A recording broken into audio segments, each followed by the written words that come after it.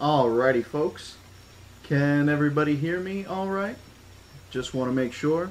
I'm going to get TikTok set up while, uh, while we get this all started. Um, perfect. Seems like you guys can all hear me. It's your boy Cheese Huss. Thank you all for hopping in here. Can everybody hear me all right? Oh, whoops. Sorry about that. Sorry about that. Did not mean for that to come through. You might hear an echo of me for a moment. I'm going to get the TikTok chat set up as well, and then we'll, we will get this road on the show.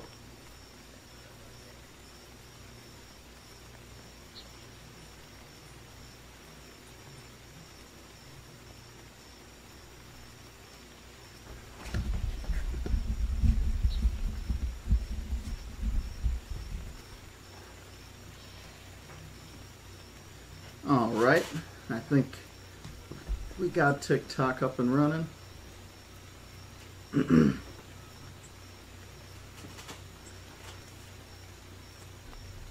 Give me just a moment here, and we'll get started. Hello to everybody hopping in. We're getting close. Yeah, they just got Malcolm last time.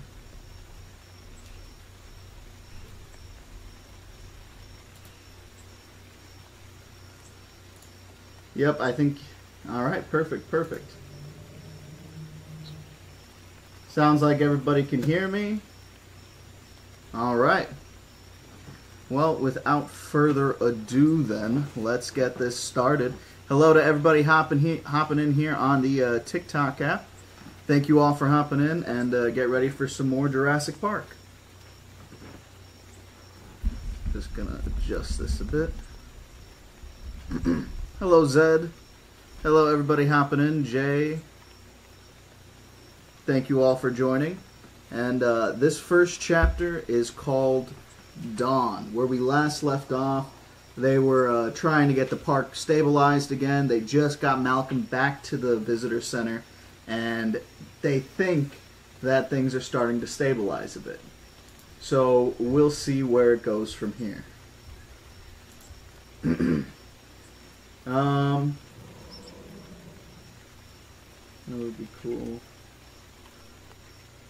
Well, first time seeing me stream. Well, thank you guys all for hopping in for your first times uh, seeing me stream, and let's get this started. So, like I said, this first chapter is called Dawn. Grant was awakened by a loud grinding sound, followed by a mechanical clanking. He opened his eyes and saw a bale of hay rolling past him on a conveyor belt, up towards the ceiling. Two more bales followed it. Then the clanking stopped as abruptly as it, had begun, and the concrete building was silent again. Grant yawned. He stretched deeply, winced in pain, and sat up. Soft yellow light came through the side windows. It was morning. He had slept the entire night.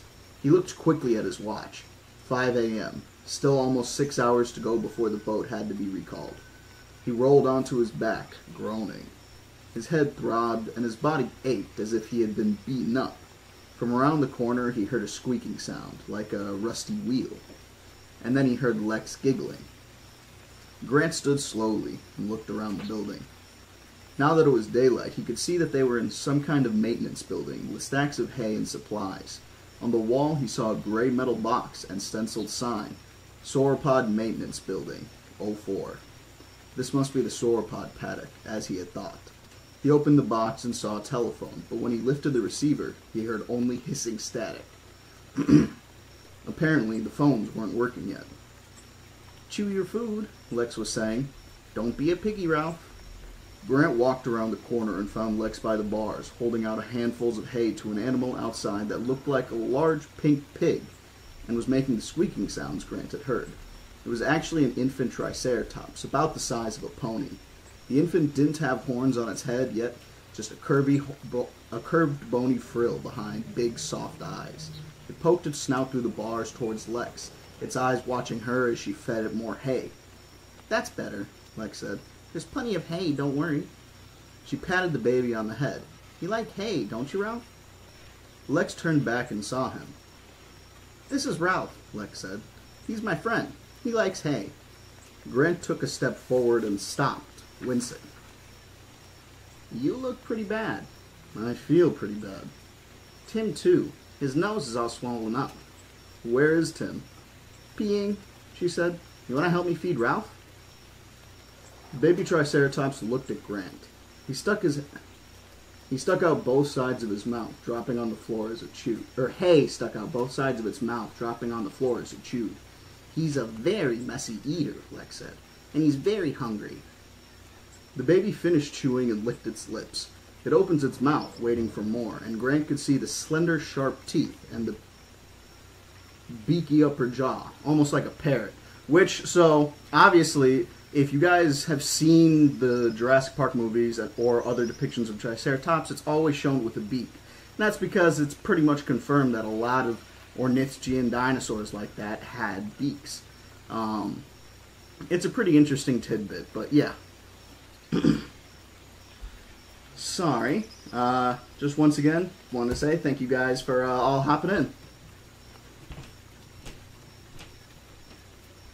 Okay, just a minute, Lex said, scooping up more straw from the concrete floor. Honestly, Ralph, she said, you think your mother never fed you? Why is his name Ralph? Because he looks like a Ralph. At school. Grant came closer and touched the skin of the neck gently. It's okay, you can pet him, Lex said. He likes it when you pet him, don't you, Ralph? The skin felt dry and warm, with pebble texture, like a football. Ralph gave a little squeak as Grant petted it. Outside the bar, its thick tail swung back and forth with pleasure. He's pretty tame. Ralph looked from Lex to Grant as it ate, and he showed no sign of fear. It reminded Grant that the dinosaurs didn't have ordinary responses to people. Maybe I can ride him, Lex said. Let's not. I bet he'd let me, Lex said. It'd be fun to ride a dinosaur. Which, don't get me wrong, I agree with her, but Grant's probably right. Probably not the best idea to try and ride a Triceratops whether it's a baby or an adult. uh,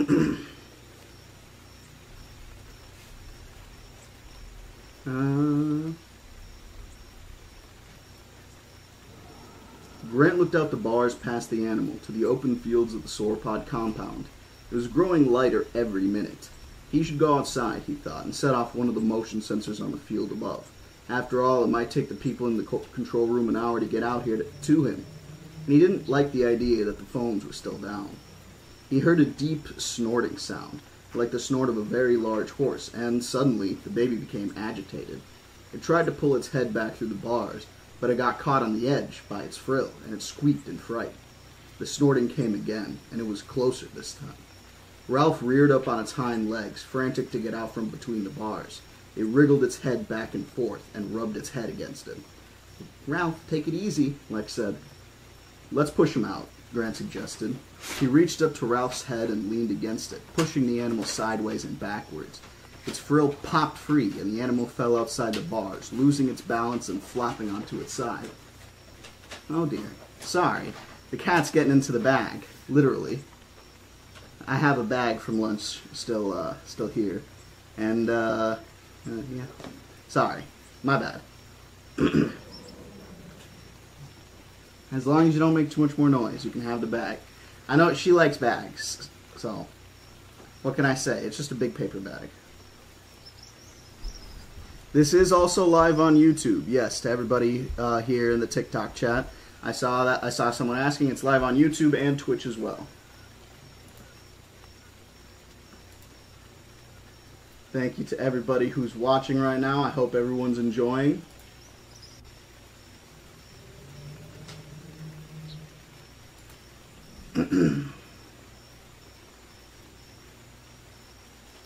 Uh, da, da, da, then the baby was covered in shadow, and a huge leg came into view, thicker than a tree trunk. The foot had five cur- curved toenails, like an elephant's, which is not necessarily true, but we'll talk about that later. But again, at the time, it might it, that's what they thought was true, so I don't entirely blame him. Um, Then the baby was covered in shadow. Or no. Ralph looked up and squeaked. A head came into view, six feet long, with three long white horns, one above each of the large brown eyes, and a smaller horn at the tip of the nose. It was a full-grown Triceratops. The big animal peered at Lex and Grant, blinking slowly, and then turned its attention to Ralph. A tongue came out and licked baby Ralph, and sque- and Ralph squeaked and bumped up against the big leg happily. Is that his mom? Lex said. Looks like it. Should we feed the mom too? But the big Triceratops was already nudging Ralph with her snout, pushing the baby away from the bars. Guess not. The infant turned away from the bars and walked off. From time to time, the big mother nudged her baby, guiding it away, as they both walked out into the field. Goodbye, Ralph, Lex said, waving. Tim came out of the shadows of the building. Tell you what, Grant said. I'm going up on the hill to set off the motion sensors, so they'll let so they'll know to come get us. You two stay here and wait for me. No, Lex said. Why? Just stay here. It's safe here. You're not leaving us. Right, Timmy? Right. Okay, Dr. Grant said. They crawled through the bars and stepped outside. Obviously, not necessarily the best idea, but you do what you can in the situation with two stubborn kids. It was just before dawn. The air was warm and humid, the sky soft pink and purple. A white mist clung to the ground, and some distance away they saw the mother triceratops and the baby moving away toward a herd of large duck-billed hadrosaurs, eating foliage from the trees at the edge of the lagoon. Some of the hadrosaurs stood knee-deep in water. They drank, lowering their flat heads and meeting their own reflections in the still water below. They looked up again, their heads swiveling. At the water's edge, one of the babies ventured out, squeaked, and scrambled back while the adults watched indulgently. Farther south, other hadrosaurs were eating the lower vegetation. Sometimes they reared up on their hind legs, resting their forelegs on the tree trunks so they could reach the leaves on the higher branches. And in the far distance, a giant apatosaur stood above the trees, the tiny head swiveling on its long neck. The scene was so peaceful, Grant found it hard to imagine any danger. So, this is a pretty decent depiction of, like, you know, a forest ecosystem of animals that hadn't lived together. While all these dinosaurs may not have necessarily lived together at the same time, they do form some kind of ecosystem with one another. And, you know, it's it's something that kind of happens in nature sometimes if animals are forced together. I don't know too many examples of this, so I'm not going to speak on it too much. Um, but I will say I always thought that this was a really interesting tidbit. Um, that all being said, uh, obviously a lot of these animals didn't uh, live together. Um, and they never specify which hadrosaurs are here other than maiasaurs a little later. Uh, but there's quite a few hadrosaurs, I think, in the book. I can't remember. The list will pop up again, maybe tonight, maybe next week. We'll see.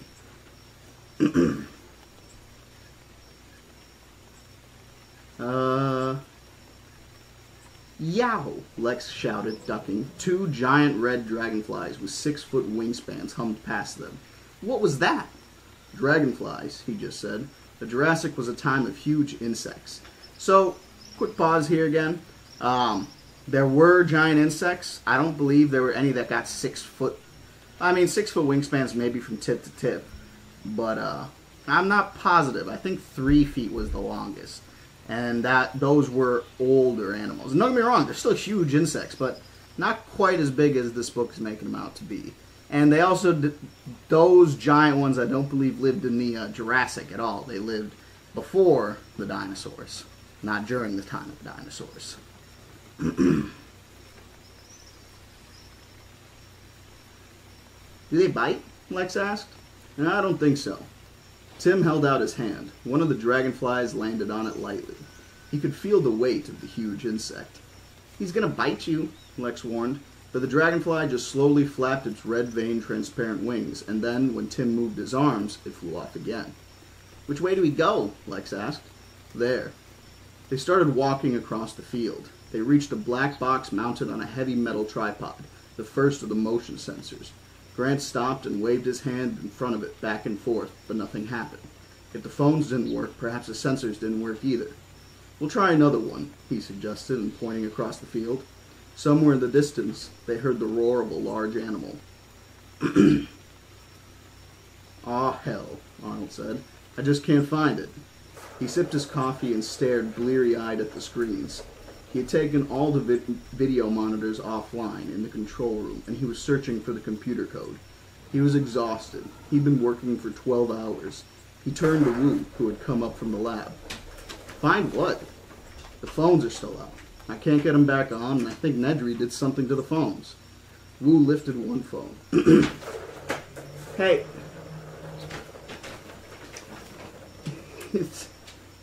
oh dear. He turned to Wu, who had come up. Find what? The phones are still out. Okay. Come on. I'm taking this away. Sorry. Give me a second. She wants to act up.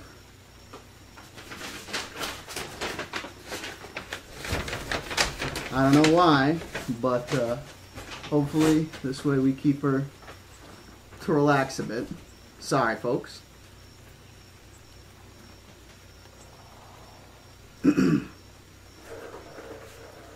that she can do, but alright.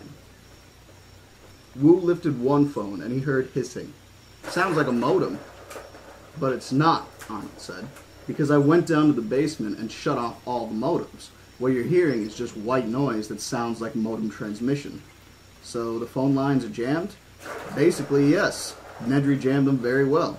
He's inserted some kind of lockout into the program code, and now I can't find it. Because I gave that restore command when, which erased part of the program listings. But apparently, the command to shut off the phones is still resident in the computer's memory. Wu shrugged, so just reset the system down and you'll clear memory. I've never done it before, he said, and I'm reluctant to do it. Maybe all the systems will come back on on startup, but maybe they won't. I'm not a computer expert, and neither are you. Not really. Without an open phone line, we can't really talk to anybody who is. If the command is RAM resident, it won't throw up the code. It can do a RAM dump and search that, but you don't know what you're doing and what you're searching for. I think you can just, all you can do is reset. Zero? Come on. Come on. Get down from there. Sorry, guys. She's just going on top of my books. She should be fine, I guess. Hold on one second. I just gotta lift her down. You're making me get up, man. Get down. There you go. Sorry, just don't want her to knock my books down or I also have Legos on that thing. It happens. Thank you for enjoying the mask. I'm glad you like it.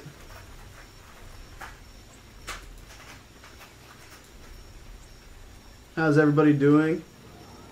No, it's not raining. I've just, uh, or it might be raining, to be honest. Kitty is adorable. She is very adorable. She's just new around here. So she's not used to everything. Not yet, at least. She'll get there. Alright, sorry. Back to it.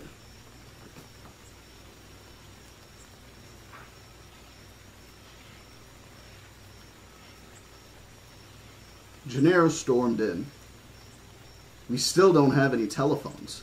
We're working on it. You've been working on it since midnight, and Malcolm is worse. He needs medical attention. It means I'll have to shut everything down, Arnold said. I can't be sure everything will come back on at all.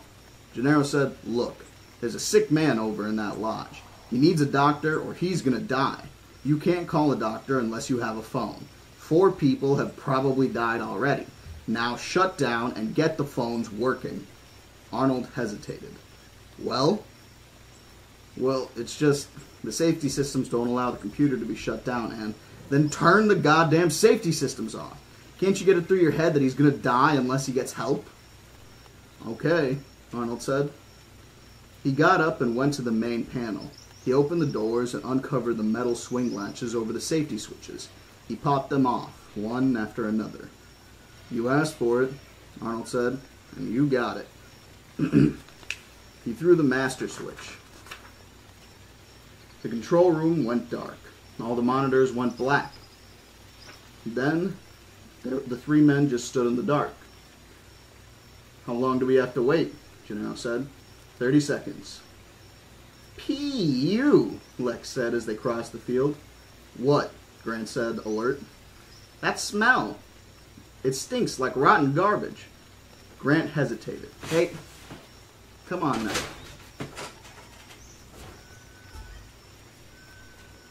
Sorry. Grant hesitated. He stared across the field toward the distant trees, looking for movement, but he saw nothing. There was hardly a breeze to stir the branches. It was peaceful and silent in the early morning. I think it's your imagination, he said. It's not. Then he heard the honking sound.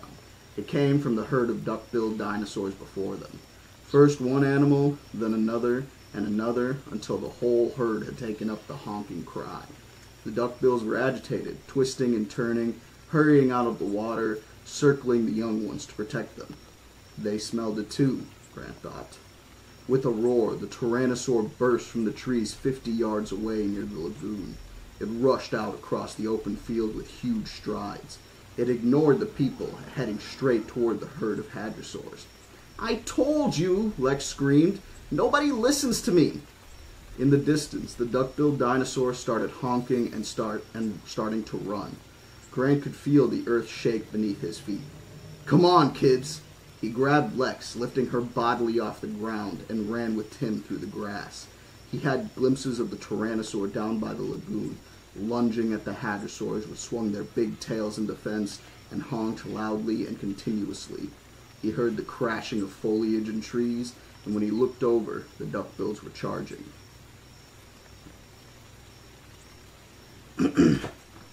bit of a bit of an intense part there. Why is my phone not charging?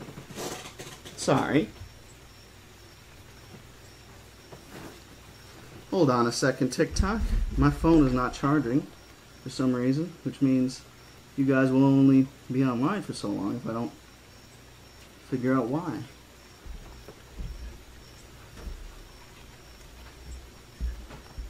Was working just a minute ago.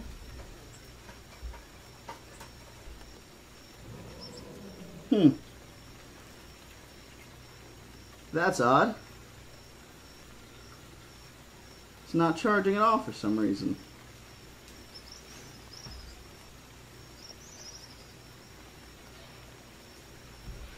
That's not good.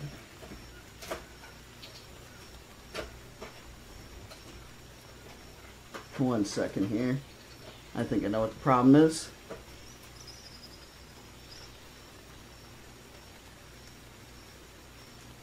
Ah, sorry everybody.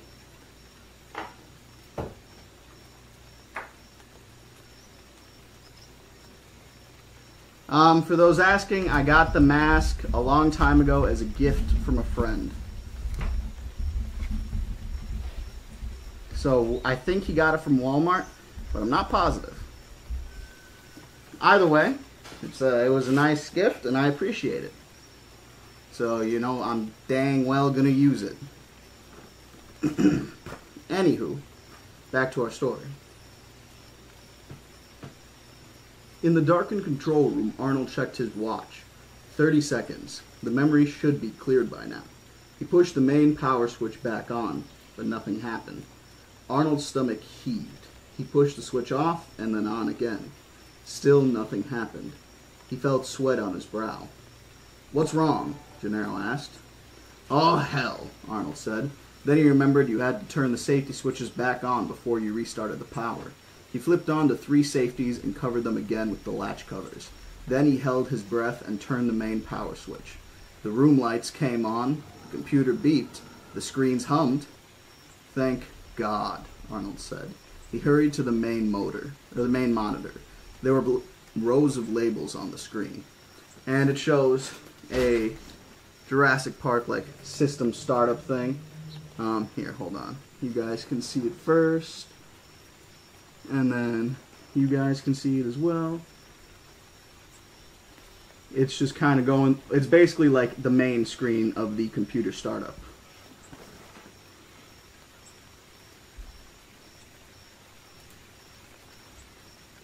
Taldaz, thank you so much for the subscription. Much appreciated.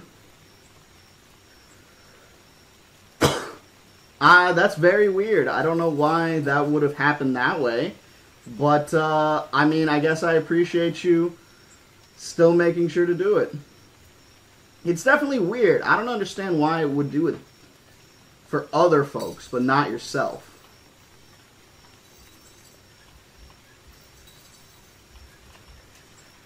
Well, either way, I'm glad you got it figured out. Uh,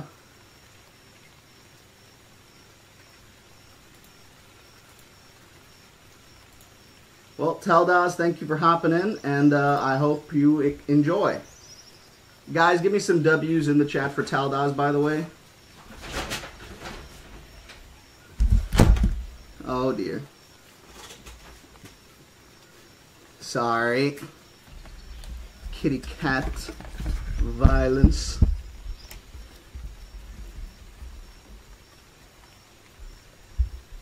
Oh dear.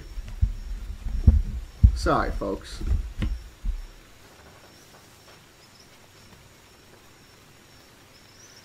This camera is leaning a bit because of all that.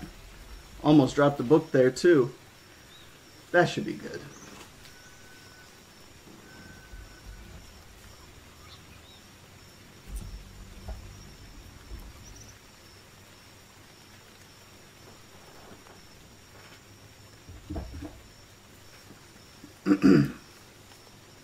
Alrighty. Sorry about all that, folks.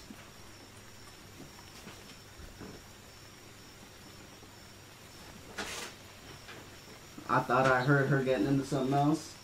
I got worried for a second. She's just behind me on the couch. Oh, ah, man. I moved it slightly to fix the problem, and it made the whole system stop. All right, but there we go. TikTok should be good.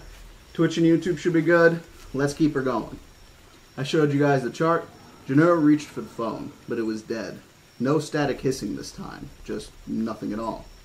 What's this? Give me a second, Arnold said. After a reset, the system modules need to have need to be brought online manually. Quickly, he went back to work. Why manually? Gennaro asked. Will you just let me work, for Christ's sake? Wu said, The system is not intended to ever shut down, so if it does shut down, it assumes that there's a problem somewhere. It requires you to start up everything manually. Otherwise, if there was a short somewhere, the system would start up, then short out, start up again, short out, and in an endless cycle. Okay, Arnold said, we're going. Gennaro picked up the phone and started to dial when he suddenly stopped. Jesus, look at that, he said. He pointed to one of the video monitors. But Arnold wasn't listening. He was staring at the map, where a tight cluster of dots by the lagoon had started to move in a coordinated way moving fast in a kind of swirl. What's happening? Gennaro said. The duckbills. They've stampeded. the duckbills were charging with surprising speed, their enormous body as a tight cluster, honking and roaring, the infants squealing and trying to stay out from underfoot. The herd raised a great cloud of yellow dust. Grant couldn't see the tyrannosaur. The duckbills were running right towards them. Still carrying Lex, he ran with Tim toward a rocky outcrop with a stand of big conifers. They ran hard, feeling the ground shake beneath their feet. The sound of the approaching herd was deafening, like the sound of an airport. It filled the air and hurt their ears. Lex was shouting something, but he couldn't hear what she was saying as they scrambled through the rocks and the herd closed in around them. Grant saw the immense legs of the first hadrosaur that charged past, each animal weighing five tons and they were enveloped in a cloud so dense he could see nothing at all. He had had impressions of huge bodies, giant limbs, bellowing cries of pain as the animals wheeled and circled. One duckbill struck a boulder and it rolled past them out into the field beyond. In the dense cloud of dust, they could see almost nothing beyond the rocks. They clung to the boulders, listening to the screams and the honks and the menacing roar of the tyrannosaur. Lex dug her fingers into Grant's shoulder. Another hadrosaur slammed its big tail against the rocks, leaving a splash of hot blood behind. Grant waited until the sounds of the fighting had moved off to the left, and then he pushed the kids to start climbing up the largest of the trees. They climbed swiftly, feeling for the branches as the animals stampeded all around them in the dust. They walked up 20 feet, and then Lex clutched at Grant and refused to go any further. They were t- Tim was tired too, and Grant thought that they were high enough. Toward the dust, or through the dust, he could see the broad backs of the animals below as they wheeled and honked. Grant propped himself against the coarse bark of the trunk, coughed in the dust, closed his eyes, and waited. Arnold adjusted the camera at the he- as the herd moved away. The dust slowly cleared. He saw the hadrosaurs had scattered and the tyrannosaur had stopped running, which could only mean it had made a kill. The tyrannosaur was now near the lagoon. Arnold looked at the video monitor and said, Better get Muldoon to go out there and see how bad it is. I'll go get him, Gennaro said, and left the room.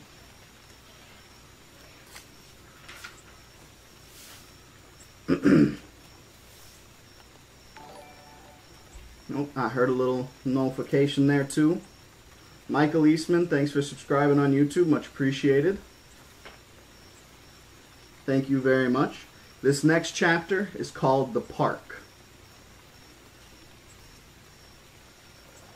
A faint crackling sound, like a fire in a fireplace. Something warm and wet tickled Grant's ankle. He opened his eyes and saw an enormous beige head. The head tapered to a flat mouth shaped like the bill of a duck. The eyes, protruding above the flat duck bill, were gentle and soft like a cow's. The duck mouth opened and chewed branches on the limb where Grant was sitting. He saw the large flat teeth in the cheek, and the warm lips touched his ankle again as the animal chewed. So a pause there. I don't see any mention, uh, like while they say it's shaped like a duck, they don't mention it having a beak like uh, like Hadrosaurus very likely did. And so that's uh, that's something that I don't know if he purpose if Crichton purposely omitted back then. Um, but yeah, they they definitely had beaks, I believe.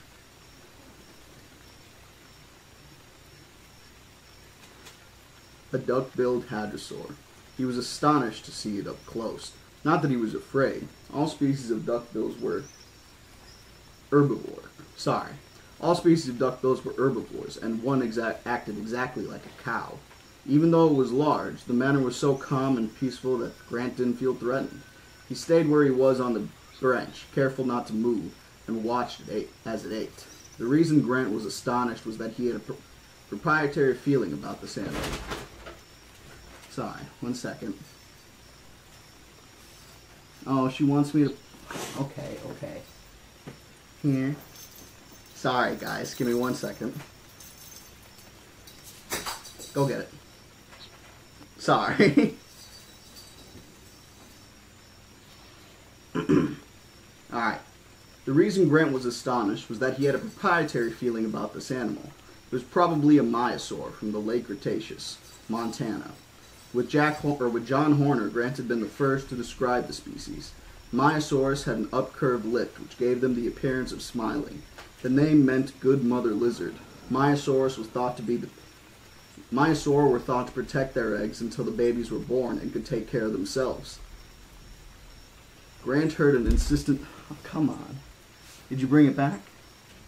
No, you didn't. I'm sorry. I need I need you to back up. She has uh, an insistence to nibble on cords sometimes. I've been trying to get her to stop that. Come on.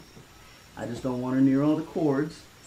Not under the desk. Be near the desk, just not under the desk. Sorry, folks.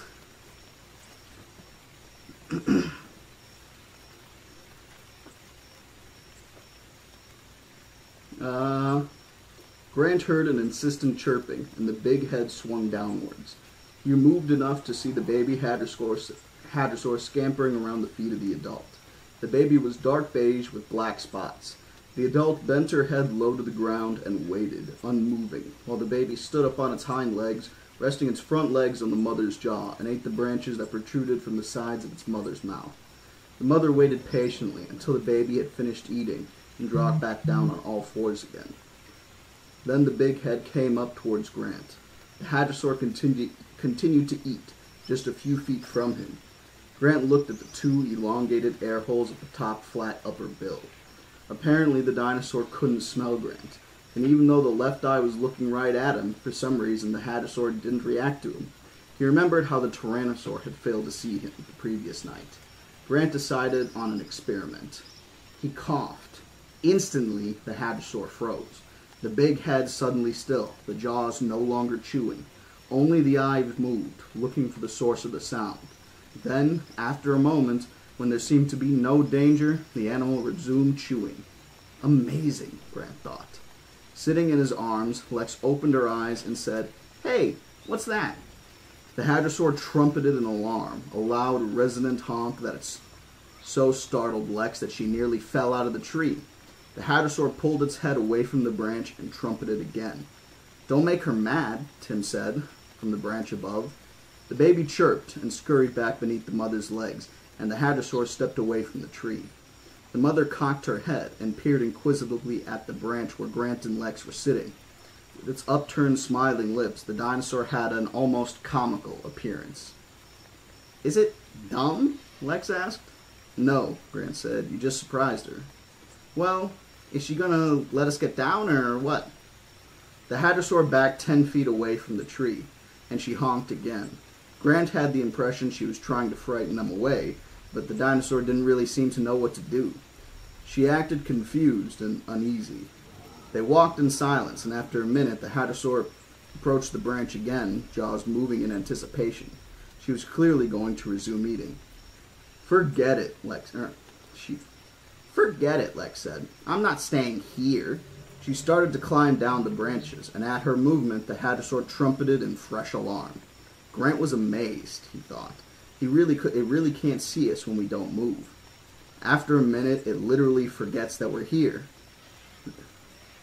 This was just like the Tyrannosaur, another classic example of an, amphi- of an amphibian visual cortex. Studies of frogs had shown that the amphibians only saw moving. Sorry, TikTok.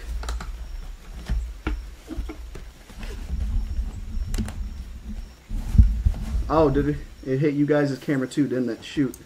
I'm sorry to Twitch and YouTube as well. My complete bad.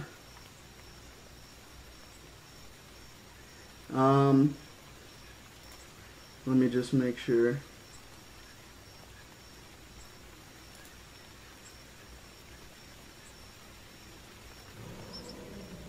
Oh man, y'all are going off in the in the YouTube chat a bit, huh?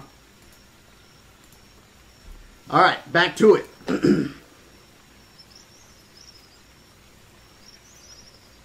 oh, um, if something didn't move, it literally didn't see it. The same thing seemed to be true of dinosaurs.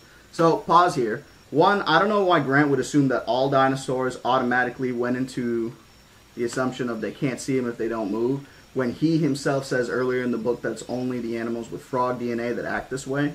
So, that's uh, that's one little thing that I've always been a little weirded out by in the book. Um, another thing here is that uh, that's not true. Like amphibians see things moving easier, but it's not necessarily that they can't see things that don't move. That'd be preposterous.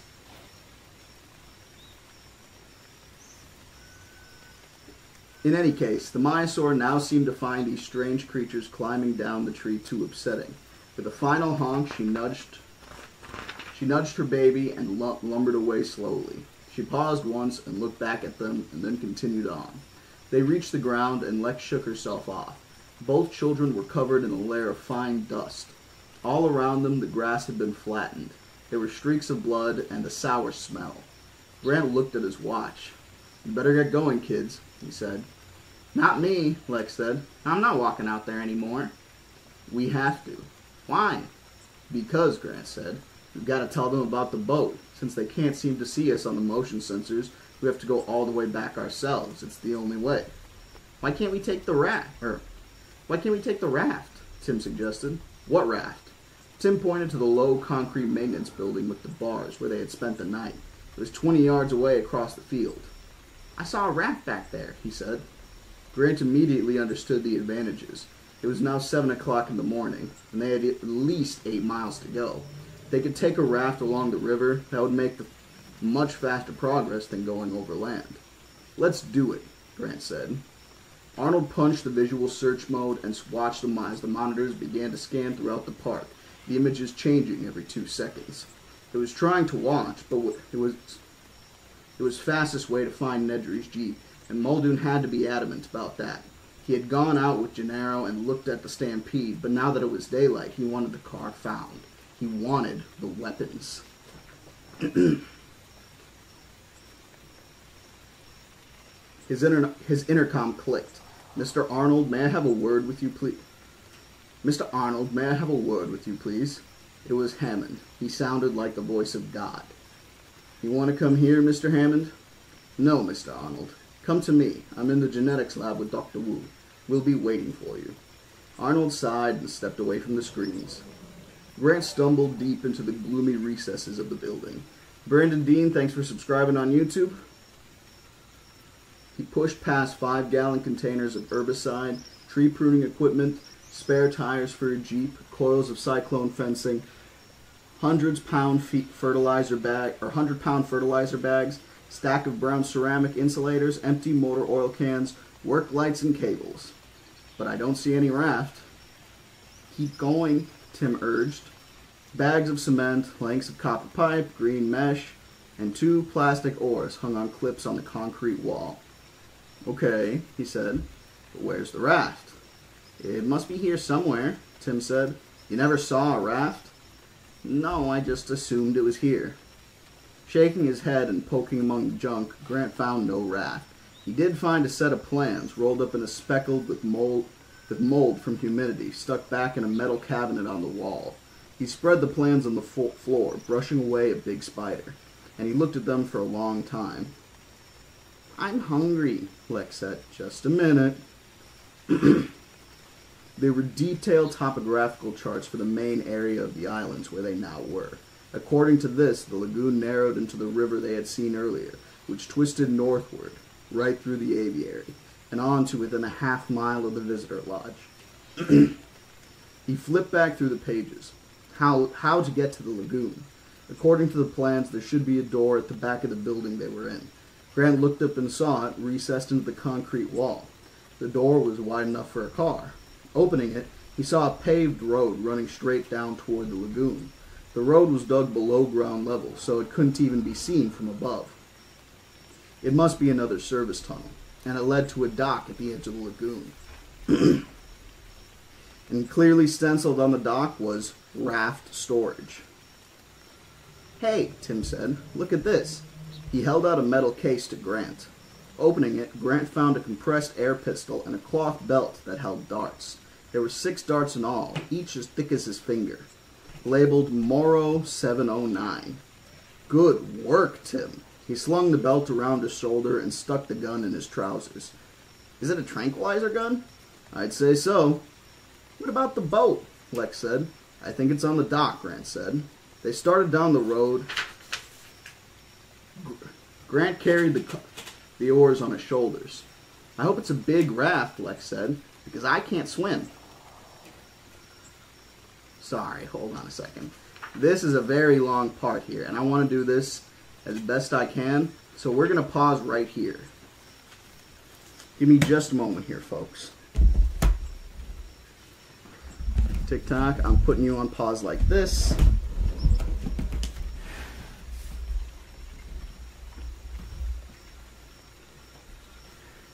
And then you already know the drill, YouTube. And you too, Twitch.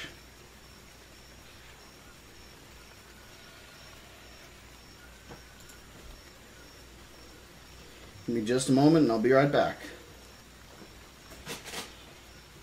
To everybody who's joined and everybody who's here, thank you very much for joining in.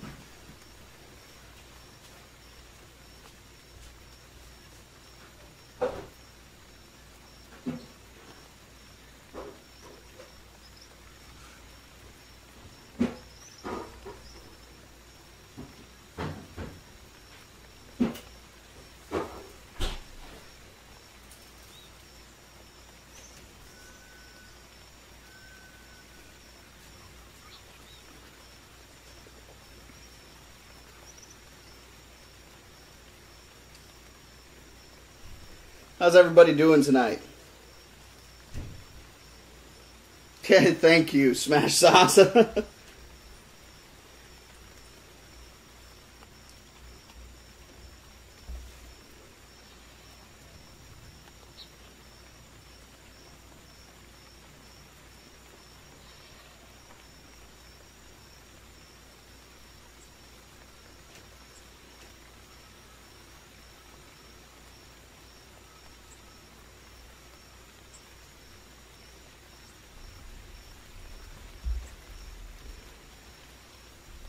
I'm doing all right, folks. I'm doing all right. Thanks for asking.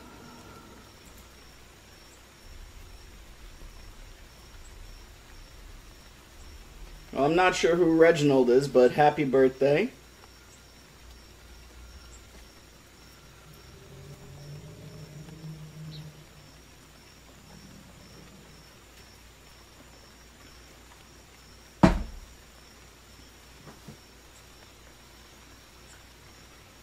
You little troublemaker?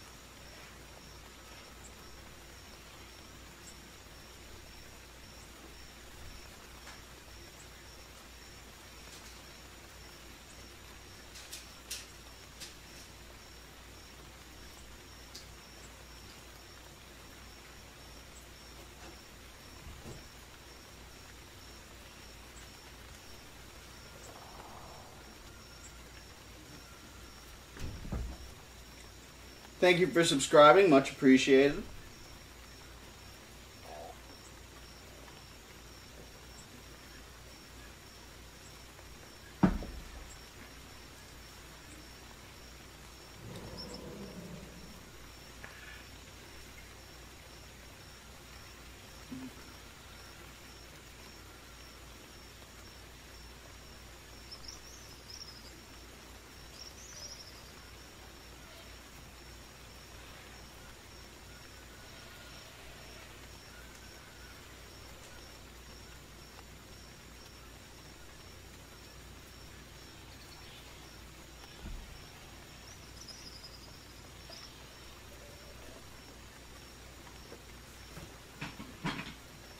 Oh.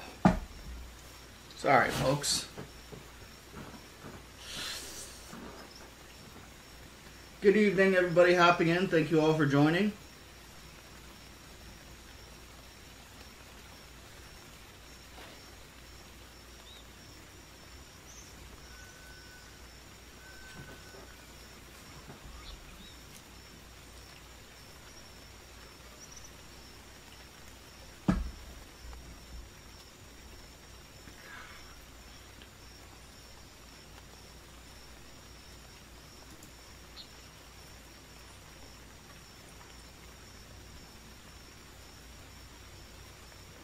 Yes, I agree, Jesus, but why do you have to call me Daddy Dinofax? Jesus Christ.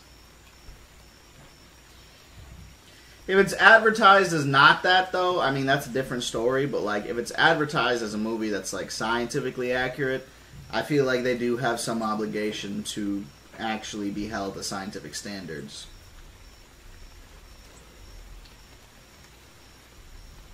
So I think Taldas has a point. It depends on the type of movie.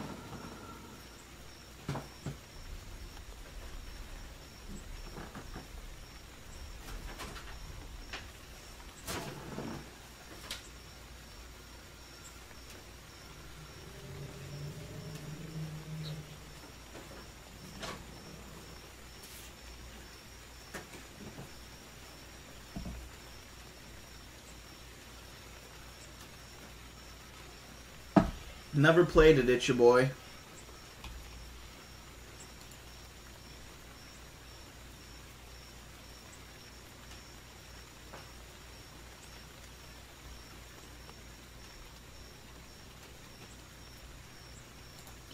Alrighty, folks, give me just a moment here and I'll be back.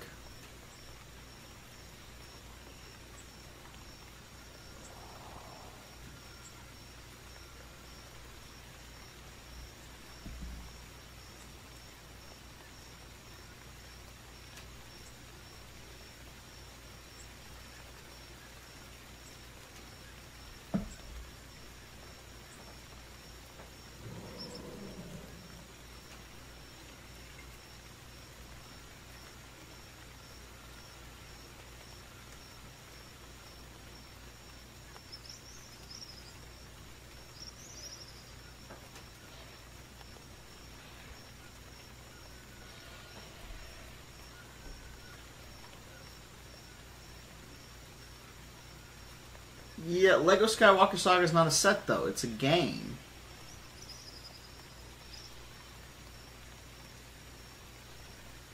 Um, like, I don't have too many Legos these days, I've played a lot of the old Lego games. Most of what I've got are Lego Mega Bloks, so they're not exactly Legos. Those are Mega Bloks. On the shelf right now, I've got uh, a couple different Warthogs and a Banshee. Though I need to fix up the Banshee. I dropped it like a month ago, and it needs to be fixed. Oh, and I've also got a Xenomorph Queen. That one I'll show you guys, because that one's pretty cool. If it's put together. I don't know if it is put together right now, or if that one also needs to be fixed, but I'll show you that. Just because I love, uh, I love that, those movies. The Alien franchise is fantastic, and if you think otherwise, oof.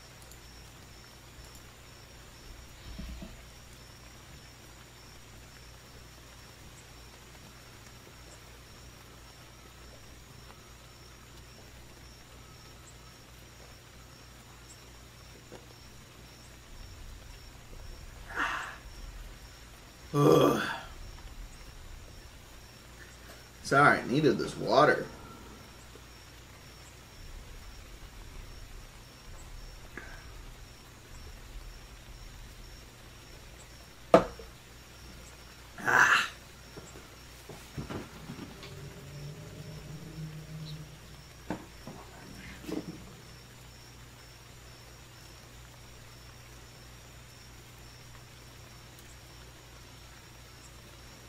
Look at that? She is put together. All right. Once I turn stream on, I'll sh- I'll show you guys the the alien queen.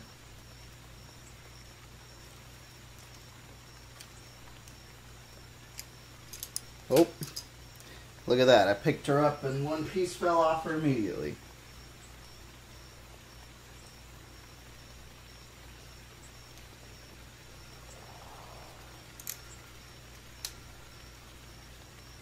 All right. Just gonna set that there, and then I'm gonna put the headset back on. Predator is a great film. I don't blame you.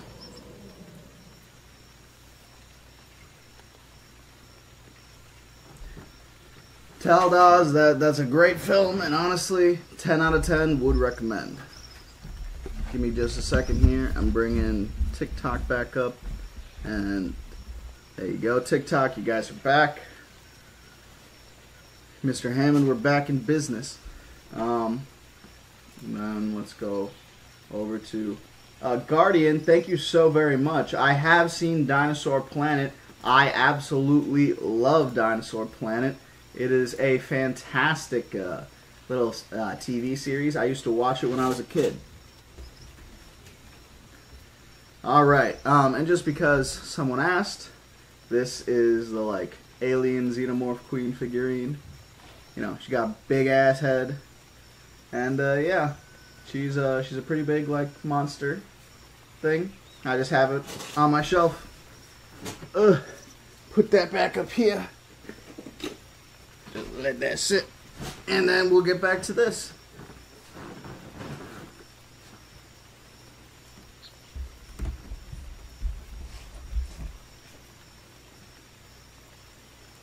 That was the queen.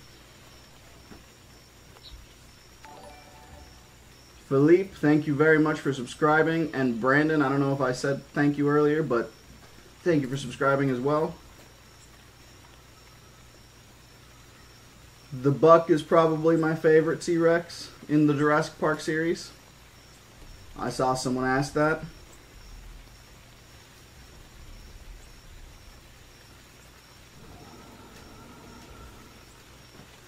All right. All right, all right.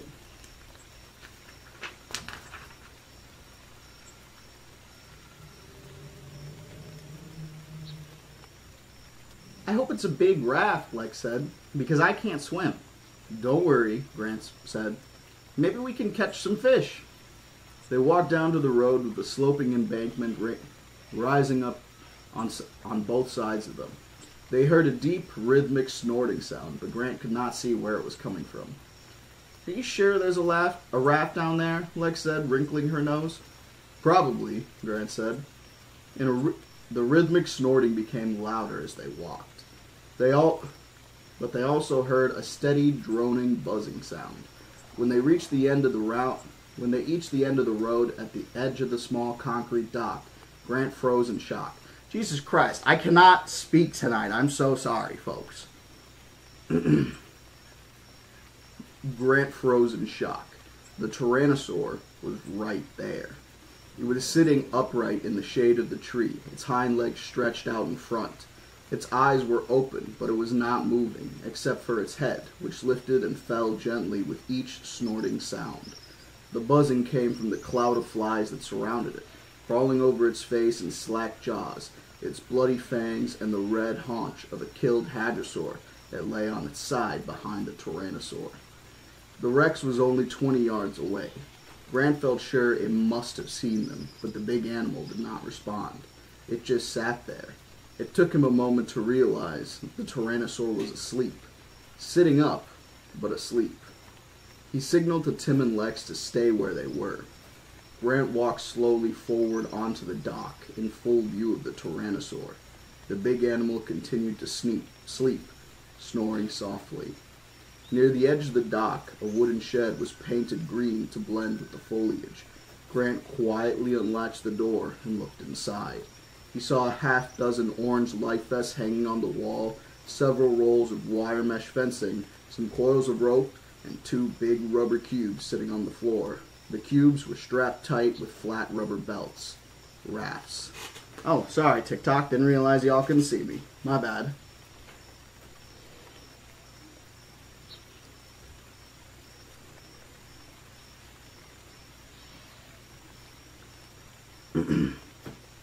he looked back at Lex. She mouthed, no boat. He nodded, yes. The Tyrannosaur raised its forelimb to swipe at the flies buzzing around its snout, but otherwise it did not move. Grant pulled one of the cubes out onto the dock. It was surprisingly heavy. He freed the straps, found the inflation cylinder, and with a loud hiss the rubber began to expand, and then with a, another hiss it popped fully open onto the dock. The sound was fiercely or fearfully loud in their ears. Grant turned and stared up at the dinosaur. The tyrannosaur grunted and snorted, and it begun to move.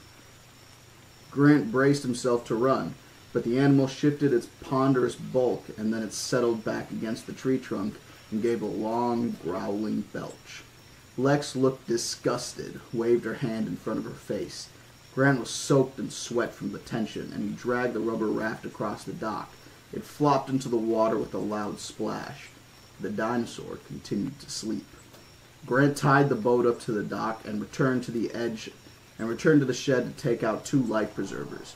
He put these in the boats and waved to the kids to come out onto the dock. Pale with fear, Lex waved back, no. He gestured, yes, and the tyrannosaur continued to sleep. Grant stabbed in the air with an emphatic finger. Lex came silently, and he gestured for her to get into the raft, and then Tim got in, and they both put on their life vests. Grant got in and pushed off. The raft drifted silently out into the lagoon. Grant picked up his paddles and fitted them onto, fitted them into oarlocks. They moved farther from the dock. Lex sat back and sighed loudly with relief. Then she looked stricken and put a hand over her mouth. Her body shook with muffled sounds. She was suppressing a cough. She always coughed at the wrong times. Lex, Tim whispered fiercely, looking back towards the shore. She shook her head miserably and pointing at her throat. He knew what that meant. She had a tickle in her throat. What she needed was a drink of water. Grant was rowing, and Tim leaned over the side of the raft and scooped in a handful from the lagoon and held his cupped hands towards her. Lex coughed loudly and explosively. In Tim's ears, the sound echoed across the water like a gunshot. The tyrannosaur yawned lazily and scratched behind its ear with one foot, just like a dog. It yawned again. It was groggy after its big meal, and it woke up slowly. On the boat, Lex was making little gargling sounds. Lex, shut up, Tim said.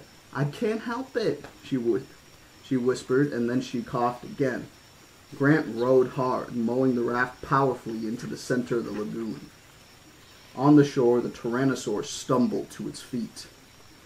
I can't help. I couldn't help it, Timmy. Lex shrieked miserably. I couldn't help it. Shh. Grant was rowing as fast as he could. Anyway, it doesn't matter, she said. We're far enough away. He can't swim. Of course he can swim, you little idiot, Tim shouted at her. On the shore, the Tyrannosaur stepped off the dock and plunged into the water. It moved strongly into the lagoon after them. Well, how should I know that? she said. Everyone knows Tyrannosaurs can swim. It's in literally all the books, and anyways, all reptiles can swim.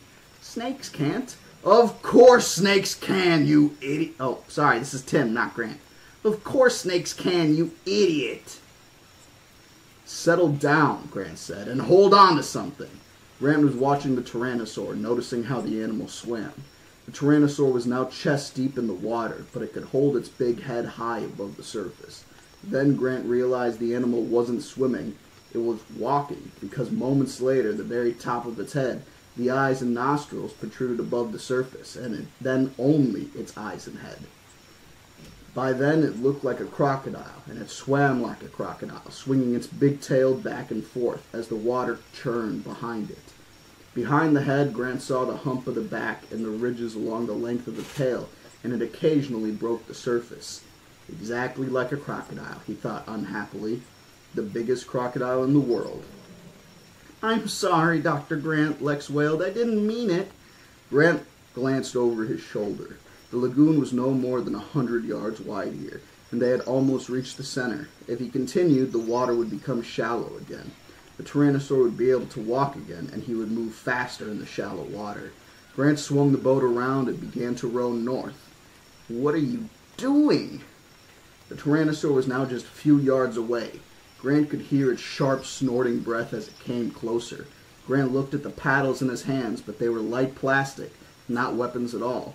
The Tyrannosaur threw its head back and opened its jaws wide, showing rows of curved teeth, and then in a great muscular spasm lunged forward toward the raft, just missing the rubber gunwale. The huge skull slapped slapping down and the raft rocking sideways away onto the crest of the splash.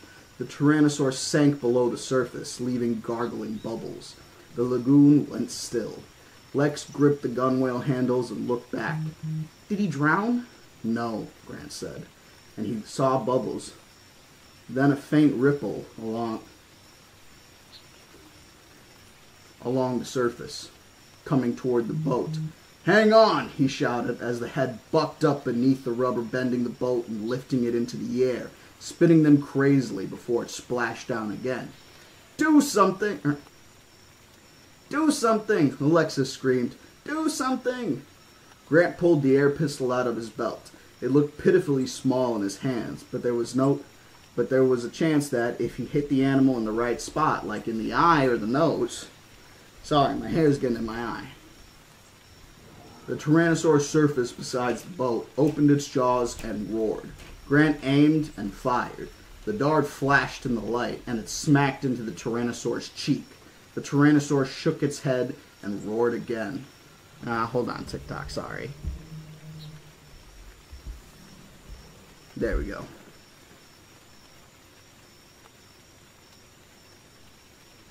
Uh, and then suddenly he heard an answering roar floating across the water towards them. Looking back, Grant saw the juvenile T Rex on the shore, crouched over the killed Hadrosaur, claiming the kill as its own. The juvenile slashed at the carcass, then raised its head high and bellowed. The big Tyrannosaur saw it too, and the response was immediate. It turned back to protect its kill, swimming strongly towards the shore. He's going away, Lex squealed, clapping her hands. He's going away. Na na na na na. Stupid dinosaurs. From above, the ju- juven- or from the shore, the juvenile roared defiantly. Enraged, the big tyrannosaur burst from the lagoon at full speed, water streaming from its enormous body as it raced up the hill past the dock. The juvenile ducked its head and fled, its jaws still filled with ragged flesh. The big tyrannosaur chased it, racing past the dead hadrosaur and disappearing over the hill.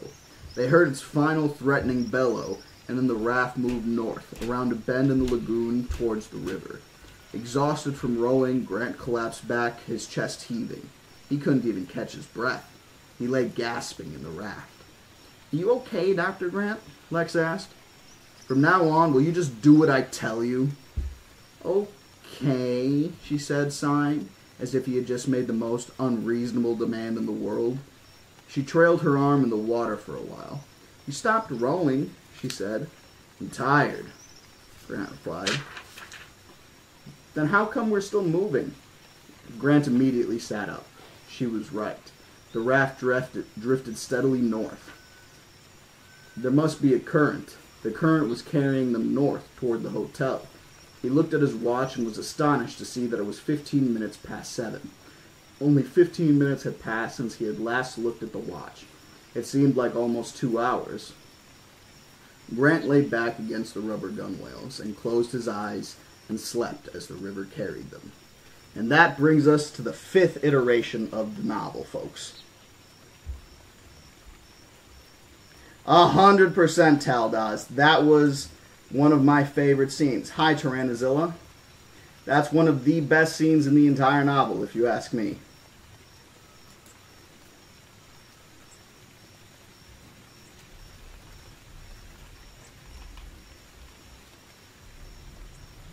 All right, folks.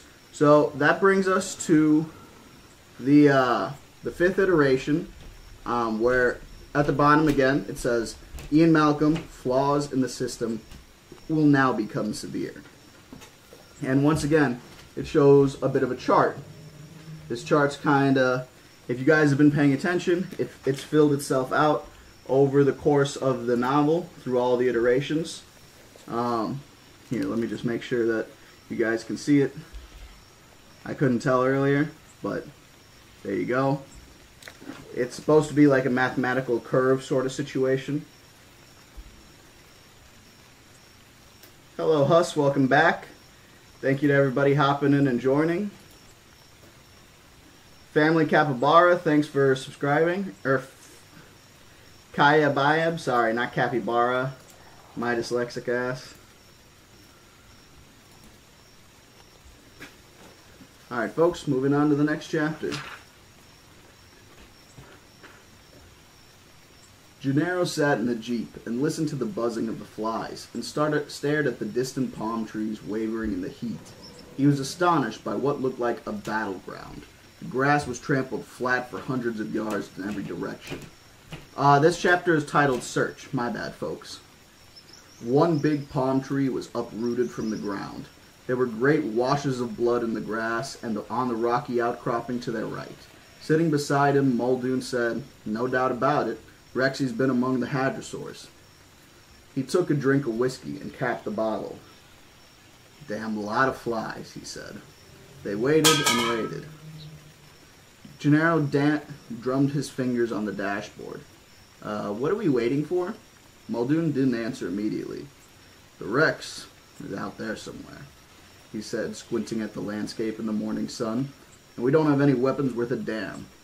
We're in a jeep. Oh, he can outrun the Jeep, Mr. Gennaro, Muldoon said, shaking his head.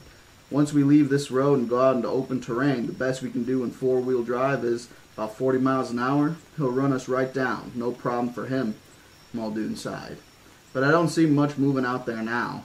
You ready to live dangerously? Uh, sure, Gennaro said. Muldoon started the engine, and at the sudden sound, two small Othnielians leapt up from the matted grass directly ahead. Muldoon put the car in gear. He drove in a wild, wide circle around the trampled site and then moved inward, driving in decreasing concentric circles until he finally came to the place in the field where the little Othnielians had been. Then he got out and walked forward in the grass, away from the jeep. He stopped a, as a dense cloud of flies lifted into the air. Uh, what is it? Gennaro called. Bring the radio, Muldoon said. Gennaro climbed out of the jeep and hurried forward. Even from the distance, he could smell the sweet, sour odor of early decay. He saw a dark shape in the grass, uh, crusted with blood, legs askew. Young hadrosaur, Muldoon said, staring down at the carcass. The whole herd stampeded, and the young one got separated, and the tyrannosaur brought it down. How do you know? Gennaro said. The flesh was just ragged from many bites. You can tell from the uh, from everywhere around here. From the excreta, Muldoon said. See those chalky white bits in the grass? That's hadrospore. Uric acid makes it white. But you look there, he pointed at a large mound rising knee-high in the grass. That's tyrannospore. How do you know the tyrannosaur didn't come later? The bite pattern, Muldoon said. See those little ones? He pointed along the belly. Those are from the othi. Those bites haven't bled.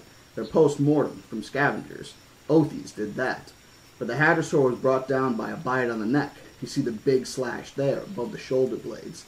And that's the T-Rex, no question. Gennaro bent over the carcass, staring awkward, staring at the awkward, trampled limbs with a sense of unreality. Beside him, Muldoon flicked on his radio. Control? Yeah, John Arnold said over the radio. We got another Hadro dead. Juvenile. Muldoon bent down among the flies and checked the skin on the sole of the right foot. A number was tattooed there. Specimen number is HD09. The radio crackled. I've got something for you. Oh, what's that? I found Nedry.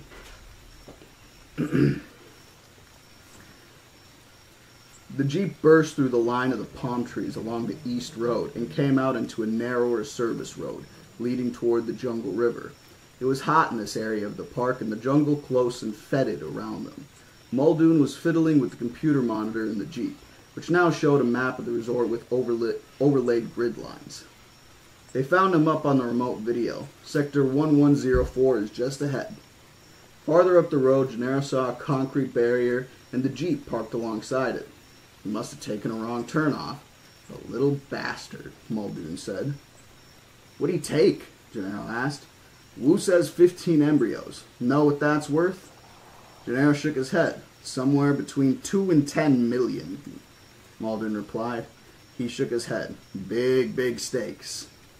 As they came closer, Gennaro saw the body lying beside the car. The body was indistinct and green, but then the green shape scattered away as the jeep pulled to a stop. Compies, Muldoon said. The compies found him. A dozen procompsognathus, delicate little predators no larger than ducks, stood at the edge of the jungle, chittering excitedly as the men climbed out of the car. Dennis Nedry lay on his back, the chubby boyish face now red and bloated. Flies buzzed around the gasping mouth and thick tongue. His body was mangled, the intestines torn open, one leg chewed through. Gennaro looked away quickly to look at the little compies, which squat, squatted on their hind legs a short distance away and watched the men cautiously. The little dinosaur had five-fingered hands, he noticed. They wiped their faces and chins, giving them an eerily human quality. I'll be damned, Muldoon said. It wasn't the compies. What? Muldoon was shaking his head. See those blotches on his shirt and his face? Smell that uh, sweet old uh, smell like dried vomit? Gennaro rolled his eyes. He smelled it. That's saliva, spit from the Dilophosaurus. You see the damage on the corneas, all that redness? In the eyes, it's painful, but not fatal. You got about two hours to wash it out with antivenin. We keep it all around the park just in case. Not that it mattered to this bastard. They blinded him and just ripped him down the middle. Not a nice way to go. Maybe there's justice in the world after all. The Procompsognathus squeaked and hopped up and down as Gennaro opened the back door and took out gray metal tubing and a stainless steel case. It's all still there, he said, and smiling. He handed two dark cylinders to Gennaro. What are those? Gennaro said. Just what they look like, Muldoon said again with a smile. Rockets. As Gennaro backed away, he said, Watch it. You don't want to step in something. Gennaro stepped carefully over Nedry's body. Muldoon carried the tubing to the other jeeps and placed it in the back. He climbed behind the wheel. Let's go, he said. What about him? Gennaro said, pointing to the body. What about him? We've got things to do. He put the car in gear. Looking back, Gennaro saw the compies resume their feeding. One jumped up and squatted on Nedry's open mouth as it started nibbling on the flesh of his nose. All right, folks.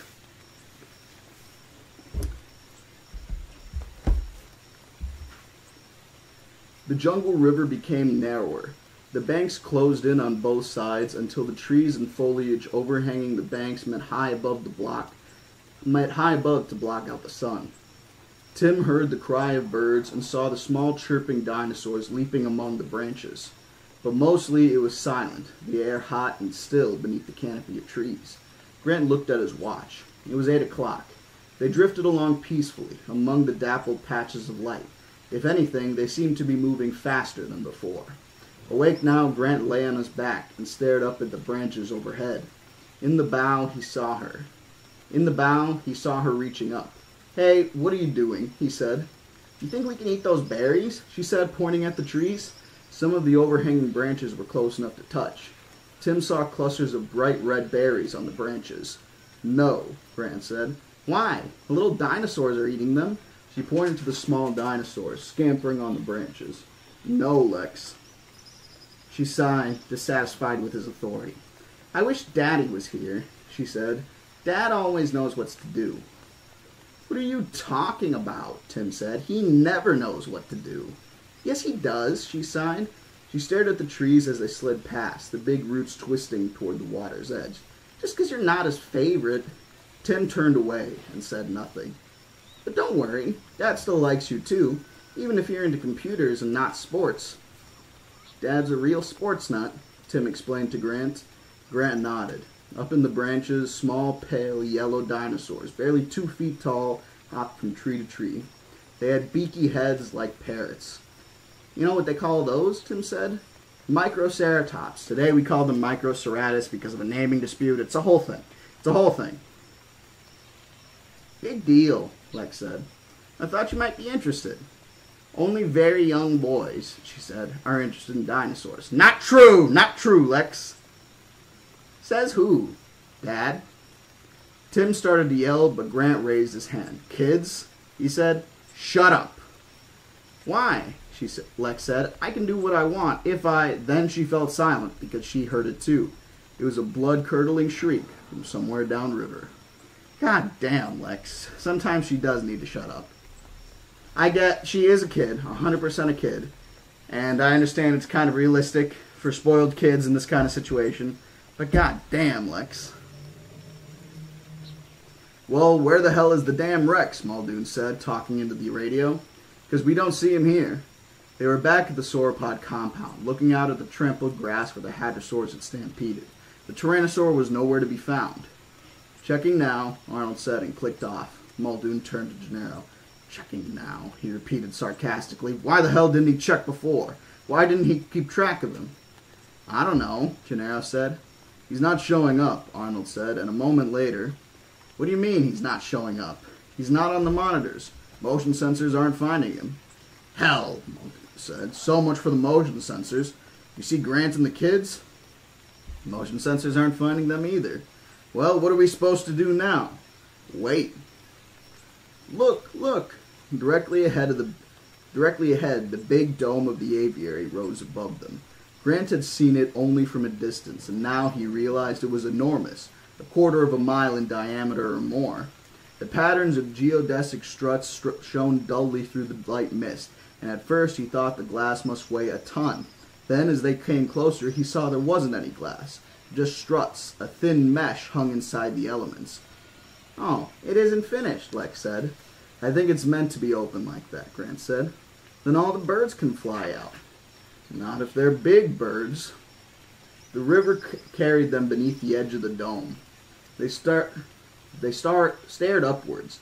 Now they were inside the dome, still drifting downriver but within minutes the dome was so high above them that it was hardly visible in the mist. Grant said, I seem to remember there's a second lodge here, and moments later he saw the roof of a building over the tops of the trees to the north. You want to stop? T- you want to stop? Tim said. Maybe there's a phone or motion sensors. Grant steered towards the shore. We need to try to contact the control room. It's getting a little late in the morning. They clambered out, slipping onto the muddy blank. bank and Grant hauled the raft out the water. Then he tied the rope to a tree and they set off through a dense forest of palm trees.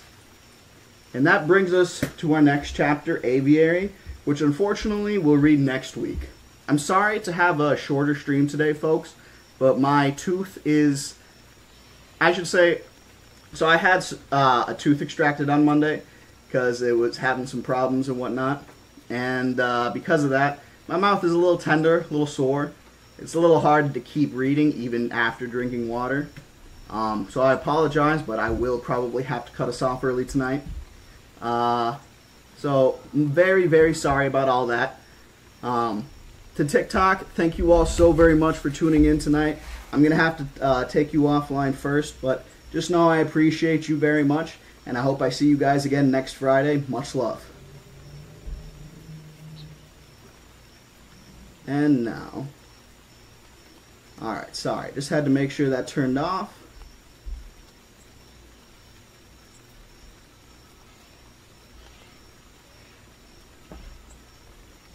We'll close that. Alrighty. And then to everybody on Twitch and YouTube, thank you all so much for tuning in once again. I know once again I'm sorry that this was a shorter stream, um, but I promise I will see you guys next time.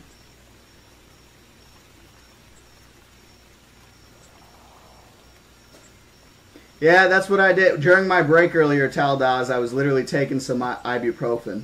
I appreciate you guys all understanding.